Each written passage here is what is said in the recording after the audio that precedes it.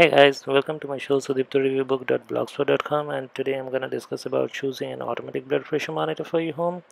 So if you are looking for tips for choosing an automatic blood pressure monitor for your home, then you are at the right place. Okay, so by this time you might have read on the internet or you have read many reviews on the internet that automatic blood pressure monitor does not give consistent and accurate result. Well, first of all, let me assure you that this is not true. Yeah, you heard me right that this is not true because firstly you need to know how to take accurate readings and secondly you need to prepare the patient before taking the readings. Well this is a separate discussion though. You can get online tips regarding this online. So the point is that automatic ones are just as good as traditional ones. Okay so let's get started then. Now there are two types of automatic blood pressure monitor one that fits the wrist and the other one that fits the upper arm. Now I would suggest you to go for the upper arm ones as they give more accurate and consistent readings. Now that being said there are lots of automatic blood pressure monitors available in the market. Now you might be confused about choosing the right one for your home because it's not only you that you'd be using but it's for your family as well. So you need to make a good decision over there. Now different upper arm blood pressure monitor comes with different cuff sizes.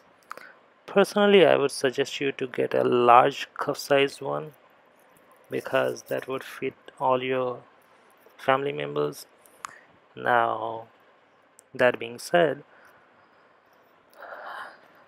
I would also like to uh, give you an estimate of the cuff sizes which are available in the market.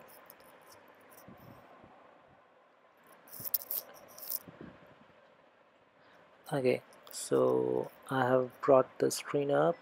Now this will give you the rough estimate of what the cuff size should be according to your upper arm measurement. First get a measuring tape and then get the length of your upper arm and then check out this approx size what I have provided over here.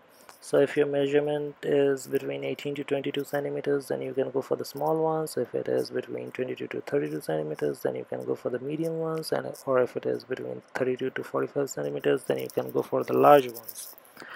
Personally I have been using the Omron HEM7130L blood pressure monitor. I'll be coming to that one soon. Okay. So this one comes with a large cuff size and it's pretty easy to use. Okay here we go. So you see it can measure up to 42 centimeters of arm length.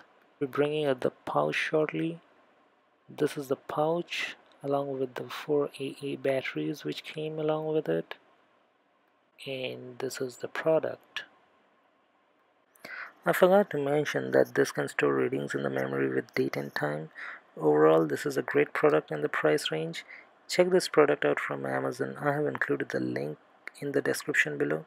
Also, I have included the link to my blog so you can check it out over there. It has a detailed review of the product.